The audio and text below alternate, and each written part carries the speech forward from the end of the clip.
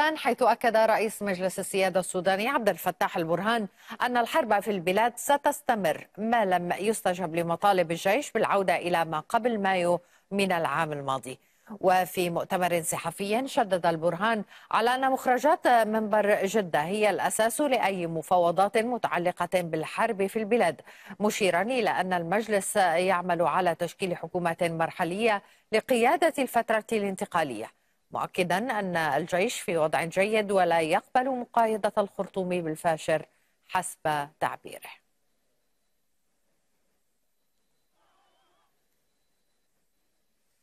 من بورت سودان ينضم إلينا الآن مراسل العربي محمد وائل محمد الحسن. تحياتي وائل سأبدأ معك بسؤال على المستوى السياسي وتصريحات البرهان وتأكيده الرفض للذهاب إلى جنيف. نعم ديما هذا المؤتمر الصحفي جاء لمحاولة توضيح وجهة نظر أو رؤية الحكومة والجيش في مقاطعة مفاوضات جنيف والتي كانت قبل عدة أيام وانتهت يوم أمس بعد أيام من التفاوض أو التناقش للميسرين على رأسهم. المملكة العربية السعودية والولايات المتحدة وسويسرا وأيضا الاتحاد الإفريقي والإمارات المتحدة ومصر. الفريق البرهان تحدث على أنهم قاطعوا هذه المفاوضات لأنه يجب أن يكون الأساس لأي تفاوض قادم. هو مخرجات مفاوضات جدة وأنهم لا يريدون الذهاب إلى مفاوضات يتم فيها الإشادة بقوات الدعم السريع. وأيضا أنه يجب التأكيد على تنفيذ مخرجات جدة والتي كان دائما ما الجيش والحكومة تشددان عليها أيضا وضح البرهان امتناع الحكومة في إرسال وفد من الجيش إلى القاهرة.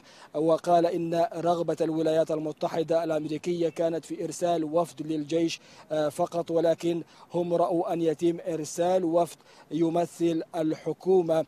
أيضا تحدث البرهان على أن الجيش في وضع جيد مقارنة بالشهور الماضية أو عند اندلاع.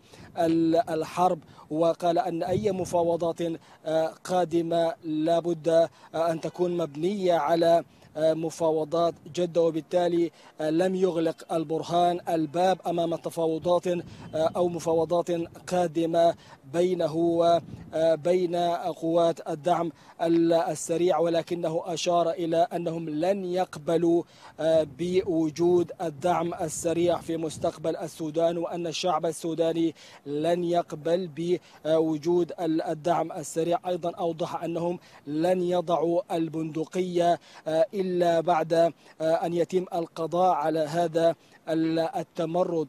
أيضا البرهان أشار إلى نقطة مهمة جدا دعا نعم. لها كثير من المراقبين. السودانيين وهي تشكيل حكومة تكنوقراط حيث أشار إلى أن الأيام القادمة هم سوف يقومون بتشكيل حكومة تكون من نعم. أولوياتها تحسين المعيشة و... بالنسبة للسودانيين. وائل سريعا على الصعيد الميداني بموازاة هذه التطورات السياسية ما الذي يجري؟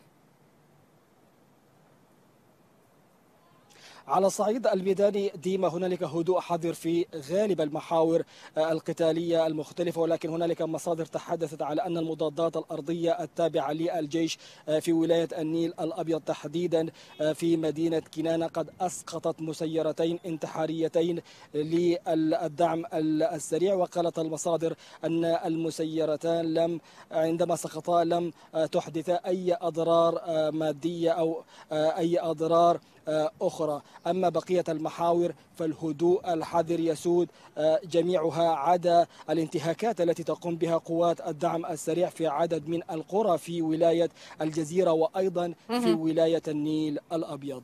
شكرا جزيلا على كل هذه التفاصيل من بورت سودان مراسل العربي وائل محمد الحسن.